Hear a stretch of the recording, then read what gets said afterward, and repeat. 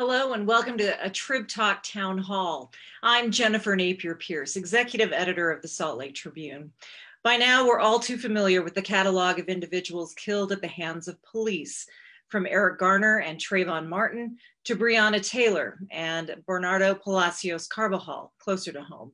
And of course, the death of George Floyd, the viral video of Floyd's senseless killing on Memorial Day has sparked protests here in Utah and around the world as demonstrators have raised a collective call for accountability and for change.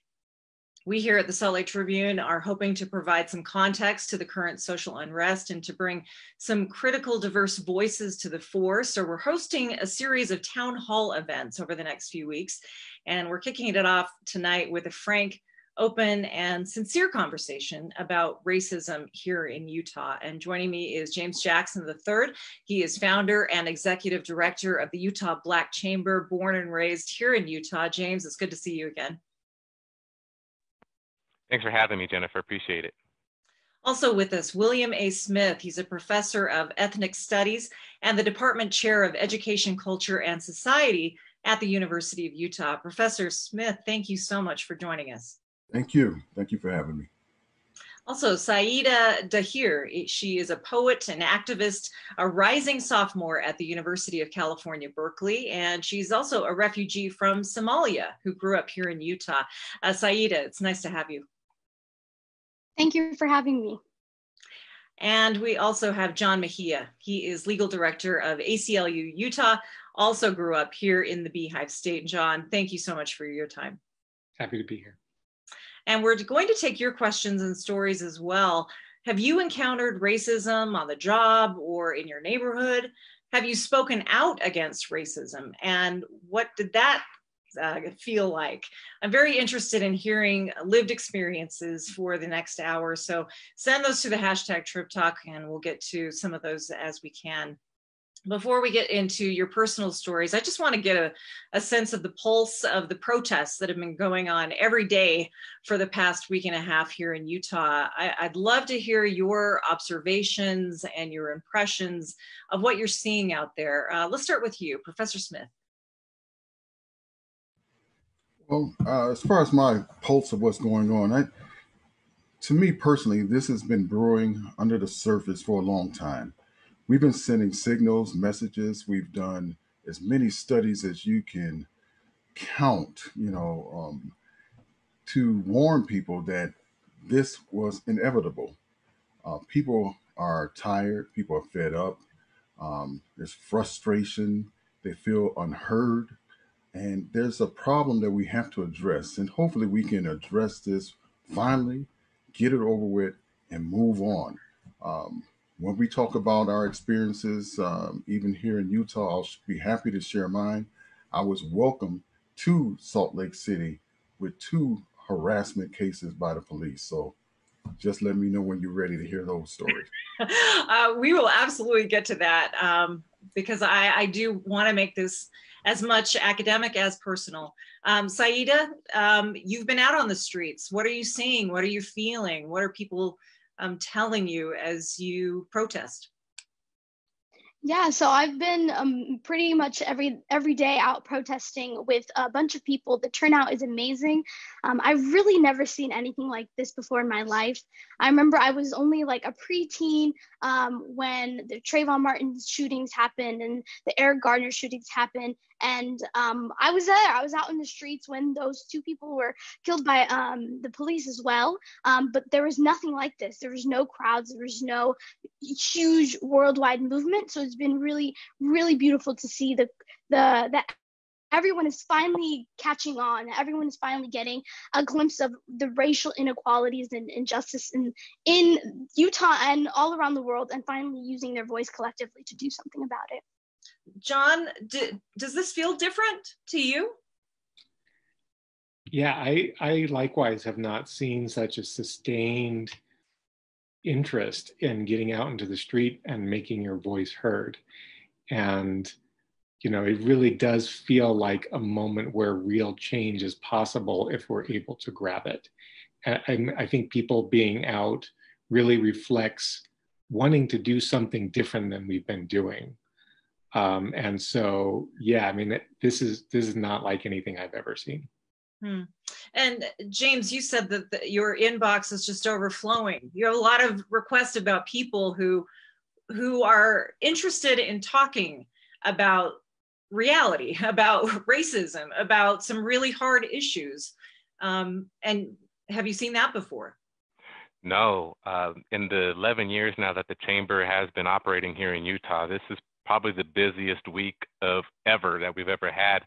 And not only just from the business perspective, but you know, so many people wanting to learn how to become an ally. How can I help? Where can I donate? Where can I contribute my time?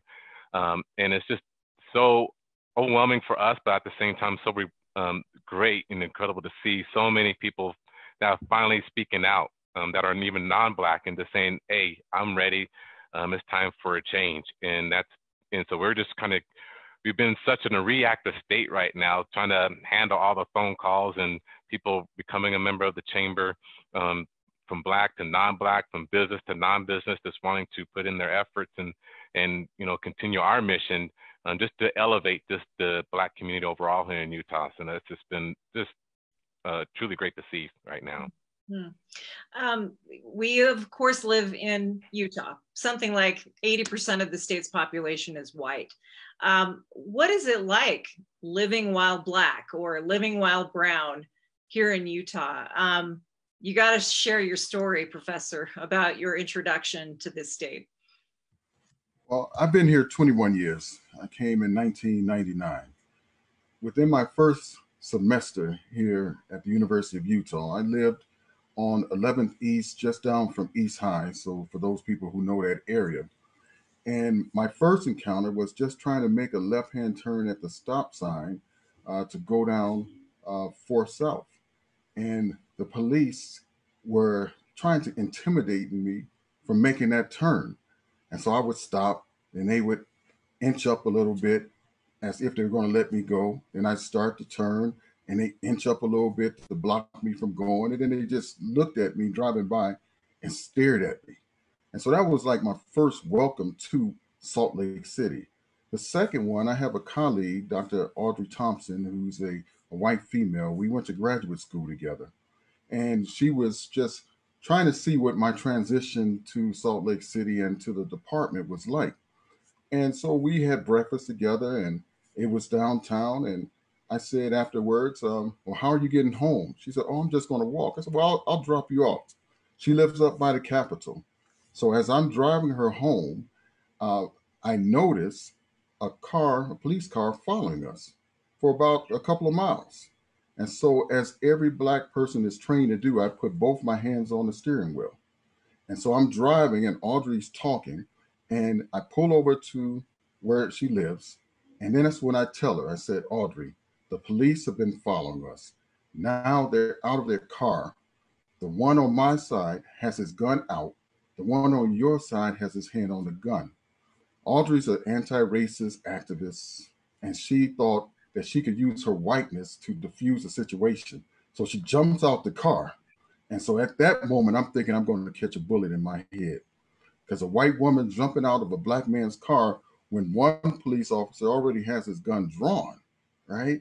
But she thought she could diffuse that moment. But the, the thing that happened next was so interesting. She said, What's the matter, officer? She they said, Are you all right? She said, Yes. What's the matter? What's the problem? Ma'am, are you all right? They said it four times. And she said, Look, I'm Dr. Audrey Thompson. That's Dr. William Smith. He was just dropping me off at my home. And they said, Well, we noticed he parked a little far from the curb. I was only about 10 inches from the curb. So she knew at that moment that it was a bogus stop and that it was harassment. But she had a hoodie over her head. So she thinks that they didn't know that she might have been a white woman, but they could see me until she jumped out. And then the interesting thing was, once they let us go, she went into her house. I go up the hill, I make a right hand turn where the Capitol is, and I go down where the conference center is to make a left. They followed me all the way down that street before they made a U turn and went back up the hill. So, two incidents in one semester was my welcome to Salt Lake City. Now, I'm not suggesting that Salt Lake City is any different than any other city in America. I come from Chicago and I've had experiences there as well. But it's too much of a similar experience, particularly for Black men. Hmm. John, you grew up here. Um, what was that like? I mean, was there a moment where you realized you were different from your peers? Well, you know, I, I think the thing about growing up in Salt Lake is people think, you know, they're very well meaning. And I think that a lot of people have uh, a hard time, you know, accepting, like hearing the story that the professor told. And, you know, a lot of the people that I grew up with would think, well, they had a good reason to suspect you, right? It's just this, this, people can be in a position where, you know, they, they can't sort of accept that maybe the fact that, you know, that happened had some, some problem behind it. You know, they want to give the benefit of the doubt to the person who is conducting the stop, who is wielding the power. And so it's just sort of you know, I, I don't think it's a universal experience with everybody that I grew up with, but there are a lot of people that you grow up with that just can't conceive that somebody in a powerful position like that might harbor those those feelings about people. And I think, you know, being part of a family, you know, a Latino family, you, you know, you can see that. I, you know, I can see that. I you know as the you know in my in my position i see that every day you know you hear stories every day f- about people who have had a bad experience like that and you know that the the people in power for the most part are you know that's a, that's a generalization but you know a lot of the people in power don't want to see that and i think that's what's eh, you know important about this moment is i think a lot of people are becoming more willing to open up their eyes and open up their minds yeah. Saida, what was it like growing up in Utah? Yeah, so my experience is a little different because my family came here as refugees from Somalia. Um, and although we are very grateful, and I'm very grateful for the opportunity of like life, liberty, and education here, there's definitely um, a different way that the world around us thinks of the United States that is a complete facade. Uh, when I was back in Africa, everyone used to talk about the American dream, you know, Hollywood. They would generalize America, like money grew on trees here. Uh, that's obviously not the case. You know, my family still gets calls from back home and people just automatically assume that life is easier or better here. But being black it doesn't matter that i'm a refugee it doesn't matter that i'm african. Um, if a cop sees me i'm black it doesn't matter if they know that i'm from a different country. So it's very um, it was jarring to just grow up here. And uh, particular instance where it was kind of a wake up call is um, me and my sisters we one day were going to go to um, our school dance so we were completely dressed up wore our dresses um, completely um, became princesses in sort um, and we got in the car and we started driving to the school dance um, and we got pulled over by a police officer uh, and then four other police officers uh, cars came. Uh, we had to line up against the wall, and there was a misunderstanding about the car and uh, two days later we found out that like there was a, a robbery so they might have assumed that it was us. But imagine just four girls in gowns and dresses being pulled over by the police for um, officer cars. Lights were everywhere and i was only like 14 years old and all of us were so terrified because we know what happens. You move a little too quickly. You reach for something too quickly. You know you back up. You turn around. There's so many instances where um, things can just change like that. Uh, so we really woke up and we're like the people we're fighting for the hashtags we're fighting for um, in in states that are not even ours could be us any day.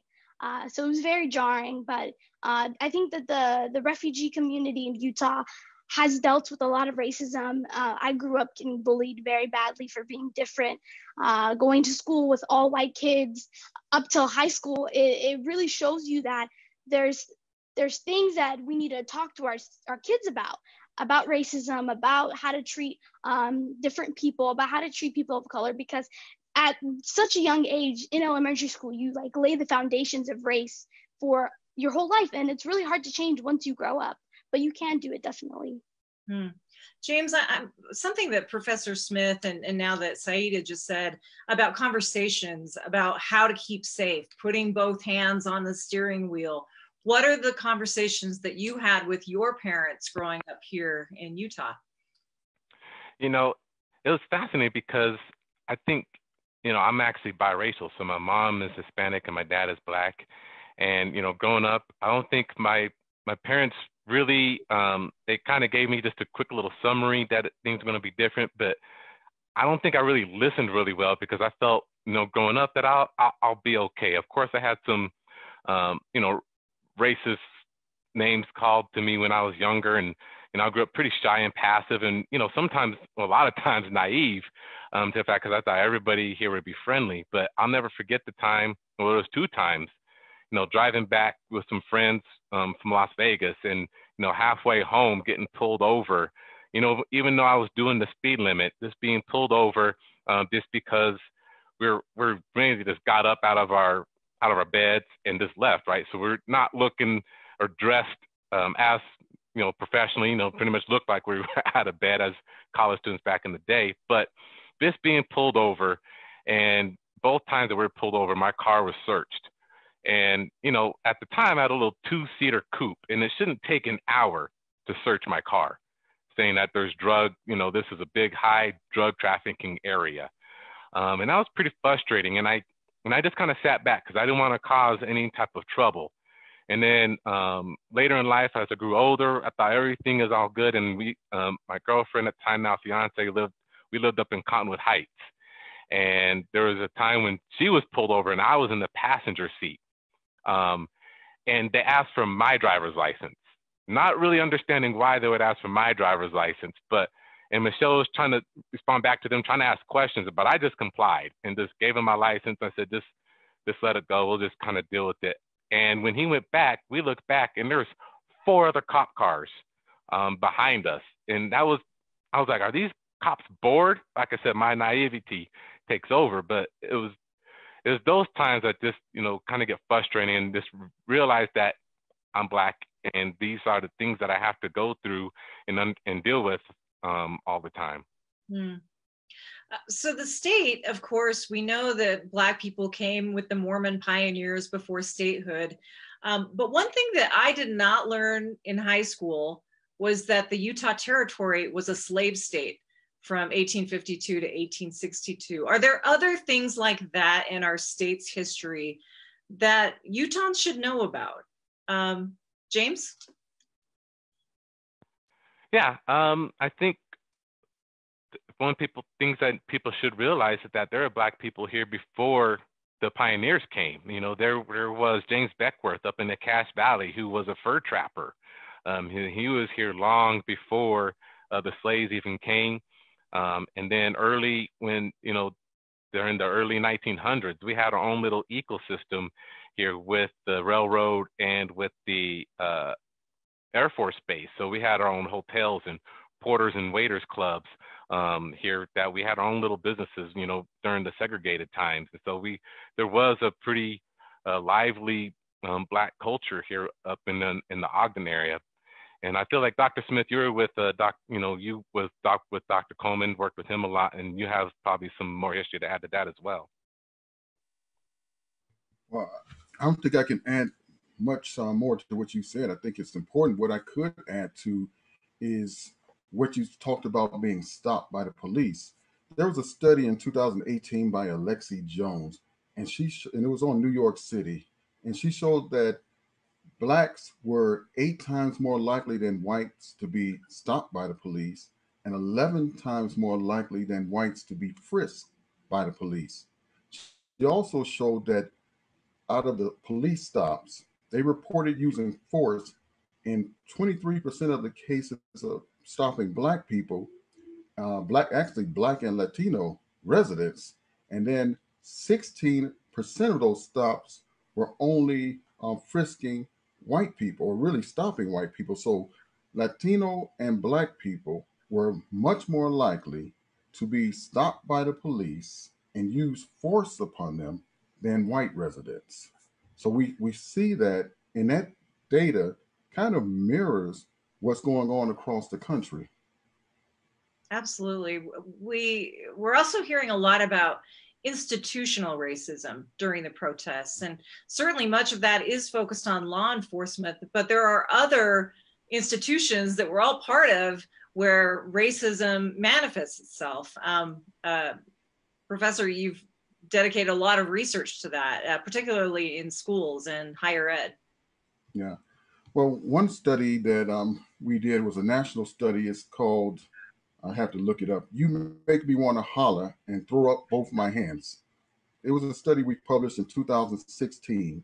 And what we saw, and this was on college campuses, so at Harvard, Michigan, Michigan State, University of Illinois, UC Berkeley, Stanford, and a couple other schools. And we were looking at Black um, male students at that time. And one of the overriding findings that we had was that they were constantly being um, accosted by the police just for being a student. So their presence on the campus was a threat that people would see them just walking and call the police. So all these things that we've been seeing on the news lately about people calling the police on black people just acting normal, that's what's going on on college campuses. So they couldn't even um, just be a student without the threat and the pressure of the police being called on them, and they and they're being hemmed up against the wall, um, patted down, and asked, "Have you stole something?" They said, "Well, I haven't even been anywhere. I'm walking." Right? Or I, we heard that a purse was stolen several blocks um, uh, away, but they say you saw me coming from the opposite direction. so, so all of these different things, you you can see those testimonies in that paper about at what we call some of our most elite institutions, black men having the same experiences. And so overwhelmingly, black males are constantly um, being encountered by the police, and it's, it tends to be something very negative. And that's a threat to their ability to succeed successfully, to integrate into the school. And what it does is it raises their racial battle fatigue. And that's energy that's redirected from being a student and learning to cope with racism, to find strategies to deal with that. And we see the same thing in our studies on uh, Latinx students, so Latinas and Latinos. So these campuses are struggling to really deal with race. And it's the same struggle that they've been dealing with for for you know decades. Hmm. Uh, Saida, that's exactly where you are. You you live on a college campus. Um, do you get tired? Are are you experiencing the fatigue that um, uh, Professor Smith has been talking about? Oh yes, um, especially uh, I know for a fact when I, I went to Berkeley, but my siblings all went to the University of Utah. And it's like, I can talk to them and I can say, hey, this happened. And the same things probably happened at their college campus. Or even halfway across the country, if I talk to a random person, they probably experienced it. And I think right now there's a dialogue of institutions being um, fake woke or being fake inclusive. We see a lot of institutions that have been post- posting supporting Black Lives Matter, but still, I know Berkeley, there's only 3% Black students. Um, and there's um, at the University of Utah, there's a huge climate change um, that needs to be changed when students of color and Black students walk down the hallway and they see, you know, KKK symbols or um, events that are uh, hate uh, hate speech is happening. And I know at Berkeley we have a huge free speech movement and of course there's a fine line between free speech and, and hate speech. And you know as students especially as black students it's very tiring and it's very tiresome to know that your institution is not is not backing up the black community like they say they are you know on paper they can look like they're diverse on paper they can look like they support the black community. But when it comes to outreaches outreaching to high schools that are in low communities and getting new students from there or admitting more black students or allowing more financial aid for people of colors um, it's not there you know it's all bark and no bite. So i think right now there's a huge shift in more and more people becoming mobilized about institutional racism and combating uh, institutions and asking for affirmative action again. I know that's something that uh, the UC system completely abolished, but affirmative action does work and it helps a lot of people get to places in huge institutions that have been anti Black and have really shunned Black people since the beginning. Hmm. John, what about the institution you're most familiar with, the law? How, how is racism um, institutionalized in our legal system? Well, you definitely see uh, disparate impact, disparate sentencing, disparate involvement in the criminal justice system generally uh, of minorities, uh, Black and, and Latinos and, and other people of color. Um, you know, that that's in Utah, that's across the country. And, you know, there, there are you know, we are in the process of sort of figuring out the, the data that shows that, but there is no question that, you know, in Utah, as across the, as across the country, um, there's a much higher percentage of people of color involved in criminal cases. They get higher sentences. Um, there was a study recently, I think in the Tribune, or the, the Tribune analyzed some, some data and showed that, you know, in the juvenile court system, that um, you know, diversion programs were less available to people of, to, to youth of color. Um, and, you know, just talking about the, the college, the problem with the problem in colleges, that starts much earlier, right? We have, you know, in Utah, again, as across the country, but in Utah, you know, we recently had a study done about the disparate um, involvement of kids of color, students of color as early as elementary, um, you know, facing unequal school discipline and facing rates of having law enforcement at a much higher rate. So, you know, we've been working for, and and we call it the school to prison pipeline, right? You know, the two problems I'm talking about are actually related because you know, statistics show that the earlier involvement with the juvenile system or the criminal justice system tends to sort of put you on that path later in your life. And so, you know, we've been working uh, for a long time of trying to figure out exactly why that's happening and how we can change that. So, you know, some of that effort includes proper training for school resource officers. Um, you know, there are certain middle schools in Salt Lake City that have school resource officers and others that don't. And, you know, our concern is certain high schools that do and certain high schools that don't. And, and so, you know, we're very concerned with, with that sort of issue. And so, you know, the problem is that from a very young age, you know, they people of color are facing systemic hurdles to success and so that's something that definitely has to change.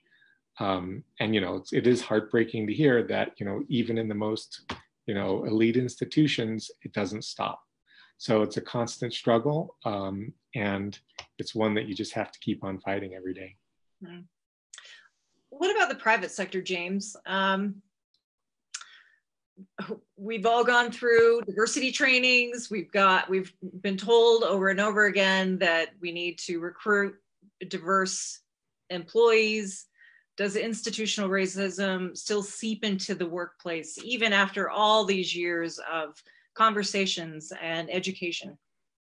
Yeah, absolutely. Um, before I get into that, real quick, just to kind of give people uh, a picture of what uh, Saida and Dr. Smith were talking about, there was a movie that came out in the mid 90s called Higher, Higher Learning. And even though it was a fictional story, what the, the role that the actors played is based on experiences that students do face in, you know, at, at colleges and universities regarding racism. Um, so it's a great movie to check out there. Um, but in the private sector, I'll just give you a quick example. I had a call yesterday morning from a, um, a company who was desperately seeking some help as far as their diversity and training. They had a PR nightmare they're trying to deal with because the ex-employee was blasting them because of some um, um, racial things that happened at, at that company. And, you know, they reached out to me trying to gain some insight on how to fix this situation, not only externally with this PR issue, because she has a huge following on social media, this ex-employee, um, but also internally, um, as far as how to move forward for this and learn from this experience and how to be better. Um, being in Utah, where it's very homogenous here, as you were stated earlier, you know, trying to find diverse talent gets pretty complicated, and you have to be, you know, re, you know, recruit internally and externally um, in Utah and out of Utah to find diverse talent. And so, what we do with the chamber, you know, we connect with so many different nonprofit organizations. You know, Dr. Smith is a member of the Omega Psi Phi fraternity, so you know, so we reach out to organizations like his and other organizations that have these professionals um, that these companies can be introduced to. So when those positions come up, that they um, know where to seek this, this qualified talent of, with people with diverse backgrounds. But also, it's important that you create an inclusive environment within your company. So when people come into these companies, you know, whether Black, Hispanic, um, LGBTQ, whatever, that they can bring their full self, that they feel comfortable um, because there is an environment that's welcoming. And that's what you have to focus on when you're doing any type of diversity training. It's not just to train on inclusive language, um, although it's important, you know, unconscious bias training, which is important, but you got to think about the values that your culture and your company brings to your employees. And that's what's most important than anything, because right now, I've been telling people all this week that Black folks are not okay right now. So for us to be working from home is probably a good idea because for us to go into a workspace with this tension and anger and frustration, some people may respond pretty well, some people may not, and probably would be threatened with their job being not there anymore because of the way they responded. But depending on the values that a company has in place, where they can vent a little bit, have a space where they can talk amongst employee resource group, or maybe with their diversity officer or coordinator, to kind of express their thoughts and feelings and appreciate that the environment that the company has in place, then that unlocks the potential for um, the, you know, uh, the Black employee to continue to thrive and be productive within their company. Um, but yeah, it's still an issue within the private companies right now, and we continue to work to educate the, the, the private companies on you know diversity training, um, creating an inclusive environment and introduce them to opportunities where they have to expand outside of their normal recruiting um, strategy so they can find the qualified, the diverse talent that's um, not only located outside of Utah, but here too, because there is a lot of talent here that's being missed. Um, people behaving badly you mentioned uh, a tweet that was completely inappropriate and you know we covered a story i want to say it's maybe two weeks ago of um, some racist graffiti that appeared at the dugout in um, Orem, Orem High School. Um, so that's kind of big stuff. But also part of this discussion that I'm hearing um, around the protests are microaggressions.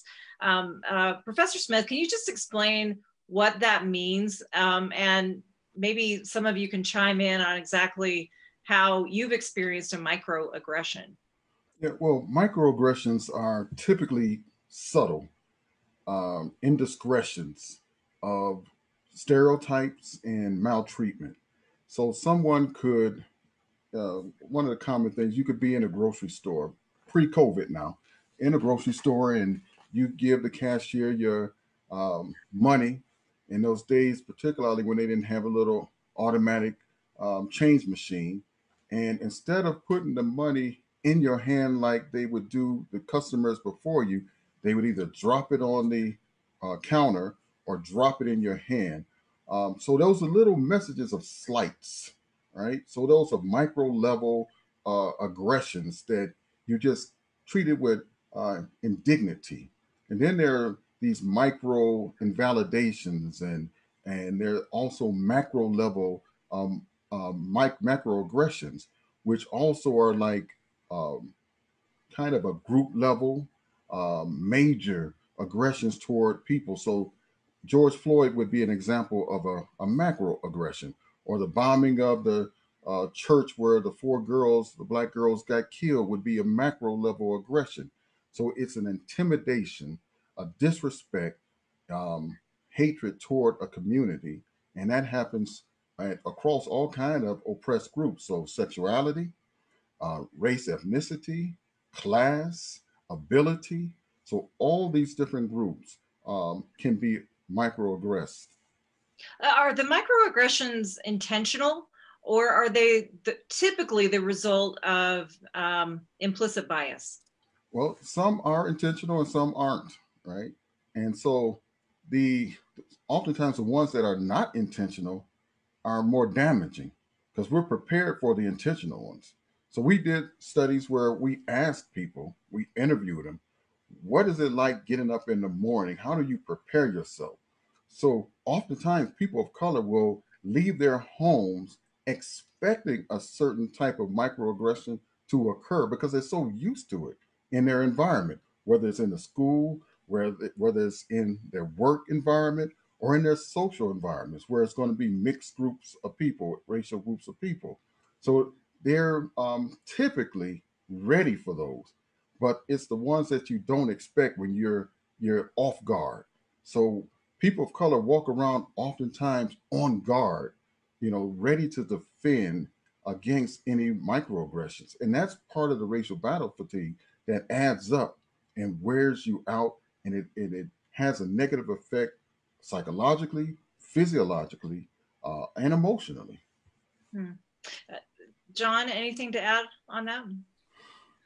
You know, one thing that I commonly see is um, if you have a, an accent, people sort of can start thinking about, you know, they they they associate that with inability to, you know, think well, right? Like as if knowing two languages isn't a sign of intelligence; it's somehow a sign that you're not intelligent. Um, know, that's one that that's a common one that I see because, you know, working with with people who are from all over the world, um, you know, it's unfortunately fairly common that that an accent will um, be look, you know, be a reason that somebody might be apprehensive about somebody or speaking a foreign language, and you know, that's that's a little bit less so in Utah um, more recently because we are becoming.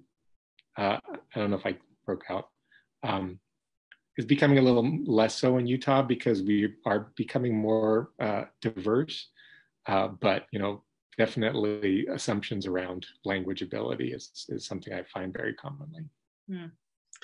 Um, I want to fold in a couple of questions from our viewers. Um, this from Trisha on Facebook.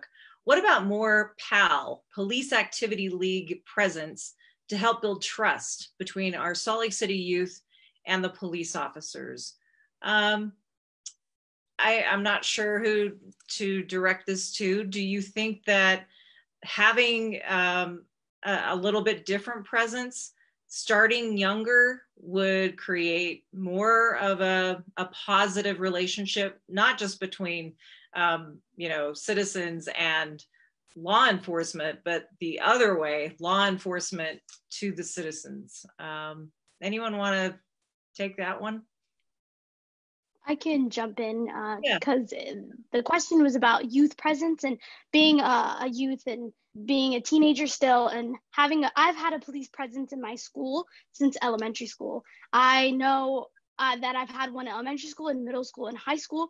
And although there, I've never had a bad experience with my school police officer. I know so many bad experiences that my friends have had and I personally believe that we're moving towards a, a direction that reform is not happening. It's not happening in the police department, and a lot of other police departments all over the world are, um, and people all over the country are asking for, you know, abolition, are asking for defundment. So there's the level that it doesn't matter how much diversity you have in police or if you give good presence and youth the relationship has been broken it's, it was broken 50 years ago. The relationship was never good in the beginning. Um, so I think right now we need to we need to move from this um, kind of dialogue that we can salvage or we can reform when we don't need police in schools when we need counselors. There's not there. I never had I never went to a school where there was a psychologist. I never went to a school where there was a school nurse. I never went to a school where there was a social worker. I never went to a school where there was even a librarian. So why are we going to force more police officers into these schools when we should be using that funding to give art programs to give after school programs to give you know math leagues to give them the resources that these students in these schools do not have why do we need to just push in more police when we know that students of color are the ones getting suspended more. Students of color are the ones that are going to these police officers' offices more. Students of color are the ones that are um, being harassed by these school police officers. So I, I'm sorry, but right now we're at a place where we cannot talking about putting more police officers in these schools or making them train more, making them be more diverse when we've seen it hasn't worked at all. Uh, this is a very similar comment from Becca on Facebook. What if instead of resource officers, there were more counselors with de escalation training? Um, that seems to be the sentiment that Saida is expressing. Um, Dr. Smith, thoughts? Well, I thought Saida was a, a mic drop right there. I don't know if I could add any more. I'm glad my daughter goes to school with her at Berkeley, you know, so um, I thought she gave a perfect response. And I think one of the things, if I could just add a little bit, is oftentimes we think that the police should come in and give the community something. Really, the community has community cultural wealth. We can give the, the police something. We can teach them. We can teach them about humanity. But foremost, it's about input. So who is who are becoming a police officer? They have to do a better job on the input. Just like universities select among the best students um, to admit into their institutions, we if we're going to have a police force and in a modified form, whatever it might look like, it's the input that we have to be concerned about so that racists and sexists and homophobes and all these other people aren't part of that process as we do the same thing in higher ed, we don't want you as a professor if you're going to be racist and sexist and homophobic and transphobic. So if we can do it and we are struggling to get it right, I think the police also has to take that up. So learn from the community, do things within the community, live within the community so you'll know us and you'll see us as human. But most most importantly, you should have social justice right at the forefront of your belief system, your values. So you don't come in there abusing people, particularly people who don't look like you. Hmm. John, anything to add?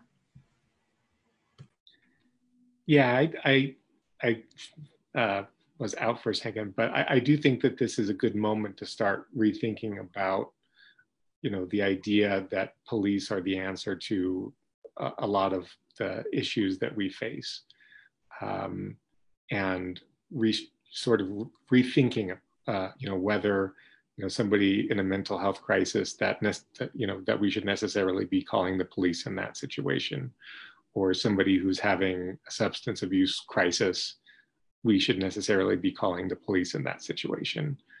Um, and you know, certainly school resource officers. Um, you know, I, I know that the, the people that take those positions, you know, generally mean well, but do police really belong in schools all day? Um, so I think that it is, you know, time to a good time to start thinking about, you know, our approach to different societal issues and whether policing and incarceration are really the best ways to, to address those problems. We are at this very interesting and important moment. Um, you have a microphone now. What do Black and Brown people want from the white majority in Utah? Uh, James, kick us off. Yeah, I mean, this is what I've been talking to a few um, groups, you know, just this week, you know, because they're wanting to learn how to become a better ally and where to contribute. They want to stand against racism. And, you know, there's so many different ways that they, you know, people can contribute to, you know, if they want to be a, a good ally in, in, during this time. You know, there's so many different Black organizations here um, in Utah. You can go to utahblackpages.com. It's a growing directory of organizations and businesses that we're um, gathering right now that people can go out and support and just learn. You know, the more you engage with the diverse community, the more you understand. And I think that's the biggest piece right now is learning, is listening to understand instead of listening to respond, right? We're in this, in this big division right now Um, and all these walls are built up. And the only way to really break down these walls is that we just need to learn how to listen to each other a whole lot better. And then I think in this situation where a lot of people are learning to try to understand what the Black community is going through, it's a perfect opportunity to learn how to listen, to develop the energy, um, because it takes a lot of energy to listen, right? And so it's important that we, you know, they become here and listen, get educated, not only from our experiences, but they can do their homework. You know, there's a lot of things on on TV right now and on demand that a lot of the the subscription services are providing. There's books that are being shared all over the place. Some Tribune, you put out something about some books that can be used um, that that people can go grab and read. And so, really get educated. Um, you know, become you know be, get ingrained within us and learn and understand what we're going through um, so you can share your voice and use your use your influence your platform to talk to others to have the influence to make change. Hmm. saida what do you think? Um, you, what is what are young people what do young people of color want from the broader white community in utah yeah, um, I think right now, young people, especially Black students in Utah and non students just want to sit at the table. You know, we just want to be heard and our voices to be listened to. And a lot of the time, there's a facade of allyship where people want to put themselves in front um, and claim to be an ally. But right now is the time where we should be centering Black voices and centering people of color voices and, you know, taking five steps back so that your fellow um, um, person of color can take seven forward. And really making sure that in these institutions when you're making organizations when you're um, making boards and when you're making allies you need to be putting black and brown faces in these boards in these institutions giving them more jobs creating more opportunities you know? Because um, when you look at big companies in salt lake city and you look at their roster you can see the same thing. It's all homogenous. And Black people right now are educated, we're smart, we're intelligent, but we're not just given the platforms or the resources to get these big jobs. And once we can kind of get institutions to listen to us and to give us a seat at the table, I think change will come. And if they don't give us a seat at the table, you can see right now that we're making room and we're forcing our way there. Dr. Smith, I have to ask you, what do you think about allyship? Because you know, I ask because I know people of color who completely reject the idea that there is some sort of true ally out there. Yeah. Well, with, with allyship, I think one of the problems there is that oftentimes well meaning white folks want to jump to the front of the line without doing homework. And people of color have been doing this through racial socialization all of our lives. And racial socialization is a process that goes across generations about how, as a Latino, can I survive in this society? That my family has been here 20 generations before the US, the border crossed them actually, right? So they were here. So I know people who were here and this was part of Mexico, right? So what we have to understand is that you have homework to do you have a lot of reading. Do you see all these books behind me. This isn't play. We do a lot of studying, even though we're experiencing these things. I have to also add to what James said. He said, there's value in listening, but there's also, once you listen, you have to believe. And so let me just share some stats with you that I, I pulled up. And there was a, uh, uh, a, a, a, study done by YouGov and another national paper, I won't mention it, um, on the air. But when they ask these days, uh, do you disagree that these days police in most cities treat blacks as fairly as they treat whites? 31% of whites uh, disagreed. 76% of blacks disagreed. 65% of Democrats disagreed. 35% of independents disagreed and 14% of Republicans disagreed. So you have 76% of Black people saying that we're not treated fairly as whites, and you have whites saying only disagreeing at 31%. So that's a mismatch. So somebody's not paying attention to our experience. And so we need you to listen, learn, read, form your own groups. Don't try to jump to the front of the line. Allyship is bestowed. All right. That's the main thing. Allyship is bestowed upon you. You're not, you don't just take it and make it that you're an ally. Hmm. John, anything to add there? Yeah, well, just thinking about, you know, what what I would like. I would like, you know, the people to people in authority, government actors to live up to the promises that we've made to each other in the Constitution, right? The Constitution, uh, from my perspective, is a is a really good roadmap to how the government should treat the people. And if we put that into practice in an equal way, you know, it you know, we have a lot, there's a lot of potential, but we are not fulfilling those promises in an equal way, right? When, when unreasonable force is used more often against people of color, when students of color are more often referred to law enforcement. That's not the promise that we made to each other. We are supposed to be an equal society. And so I, you know, I think that is hearing voices, treating treating the stories that you hear seriously, and understanding that your experience, you know, as a, as a member of the majority, is not the same as the experience of a member of of, of other people. And understanding that just because that's not your lived experience does not mean that that is not the lived experience of everybody you've heard from today. Mm. I, I want to go back to where we started, which was the protests. And I see the sentiment, you know, some people say, I support police reform, I denounce racism, but gosh, you know, when it crosses into vandalism and looting, that's that's too much.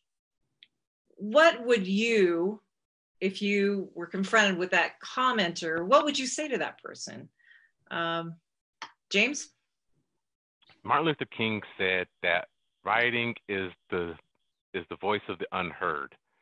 You know, we've been trying to tell people for so long that we're being oppressed. You know, when Dr. King walked across the Selma Bridge, that didn't work. When Colin, Kaepernick, when Colin Kaepernick kneeled um, during the national anthem, and people directed that as disrespectful to the flag, when that wasn't even the purpose, so that didn't work.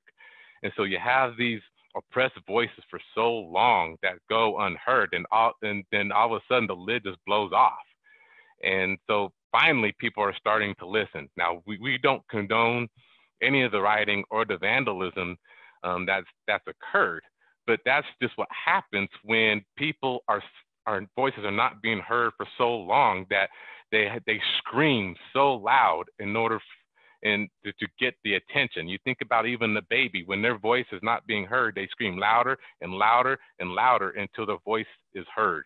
And so I think now, when we've seen it, that our voice is now being heard with, you know, almost two weeks straight of protests. And for now, in the most part, the protests have now been peaceful, but now we're starting to see some things being um, sent off to, you know, some bills being made, some you know, voices are now being heard. There's been conversations. I've been in several conversations all this week. And so hopefully, you know, we, we don't come to this level again. And we hope that when we start doing this peaceful protest, people understand it's time for our voices to be heard and before the lid blows off again. When you say that, though, the lid has been blown off multiple times. Um, is this just another episode of civil unrest along the path to civil rights? Uh, Dr. Smith, what do you think? I don't think we've probably seen the worst of it yet. So it's going to be uh, based on the responses. If we can continue to start to open up this system of systemic racism, systemic sexism, um, systemic homophobia, once we start dealing with all of these sins of our society and people can start realizing that maybe we are taking a step forward, then I think you will see more and more people starting to join hands and say, okay, this is the society, this is the United States that I can believe in. a lot of us don't really believe fully in the United States because of the way the United States has treated us. So I think that's the most important things that people will who really love this country. There's other people who love it but can't stand it. And so I, that's the crossroads that we're at. That while we love it on one hand, we can't stand it on the other hand because of how she treats us. And we've been um, beat down for so long that now um, depending on how things turn out, how those officers will be or ex officers will be handled with the court, which I don't think three of them will be treated the way we think they should be treated. Then you might see a, a surge again. And that's history has taught us that these type of things will occur. But once we get over that, hopefully we can get over that mountain into a better society and push America because this is 2020. Now, James brought up Martin Luther King. My father was Martin Luther, one of his bodyguards. So even a peaceful man did not escape violence. And I'm talking about those around him, because I know what my father carried, you know, and what he had to do. So we have to understand that we have to really look at black and brown people and, and we have to say something special about them that after all that's been done, they can still love people and be forgiven you know, that we haven't just gone crazy or just revolted against everybody in this society and just we don't want to be around you. We still try to be neighborly. And that's something very spiritual in the essence of black and brown people that we are we want to forgive. We want to move forward. We want to embrace. But there's so many of us in this country that aren't willing to do that. John, what is what is the next step? Is it a baby step or is it a, a, a big step forward, a leap forward? Um, you know, is is it defunding the police? Is it um, some other policy action that will actually result in long term attitude shifts? What what is your thought on that? Well, you know, I, I do think um, that there are you know a lot of good ideas out there. Uh, you know, I've I've been, you know, our uh, organization has tried to center the the voice of Black Lives Matter right now, and their suggestions for change because, you know, the, the people who are most affected by, you know, these practices are the ones that, you know, I think, you know, th- their voice should be at the center. So, you know, these big ideas i think it's a time for big ideas i think it's a time for thinking outside of the box and and pushing pushing big solutions because the problems are certainly very big hmm. Saida, i'm going to give you the last word because you are the future so what do young people want to see result from from the protests from demands? Um, you have a seat at the table now. What are you going to do with it? Yeah, um, I think right now the youth have been so mobilized for change. You can see all the big movements right now. The youth are in the forefront of it. Uh, Black Lives Matter, um, March for Our Lives, the Climate March. Youth have become more mobilized more outgoing about their voices. And this is nothing new. When you look at the past, you look at the climate, um, and you think of Vietnam and all the protests, it was youth. And you think of the um, civil rights movement, it was youth that were sitting at the bar stools. It was youth that were rioting. It was youth that were in the voices because we we know that our parents can't risk it. Our parents can't go to jail. Our parents can't lose their jobs, but we can really put our voices out there and make the difference. And I think right now, a lot of youth are calling for defundment. A lot of youth are calling for abolition, and me included. And there has been strategic and scientific ways that communities can police themselves, and communities can make sure that we're safe. And um, I know that that is a scary thing, and change is scary. You know, when we look at big shifts in America, like the abolition of slavery, I bet no one saw, sat there and thought, maybe this is scary. They all thought that. But people decided to do it. When we think of banishing uh, Jim Crow, it was a huge thing, and a lot of people were against it. But people realized that that was the next step.